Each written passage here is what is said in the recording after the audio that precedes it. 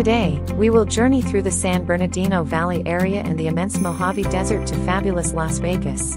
Las Vegas is known as the entertainment capital of the world for a good reason. Casinos and hotels line its streets, and visitors can gamble, see shows, and shop at virtually any hour of the day or night. Las Vegas Night Tour is the best way to see the lights of the Vegas Strip.